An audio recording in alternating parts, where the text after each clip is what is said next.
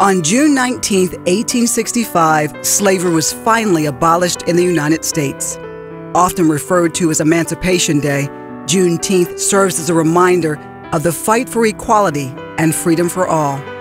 On that day, those who were once enslaved now had the feeling of true freedom for the first time in their lives. Let's celebrate together as freedom enriches all of our lives.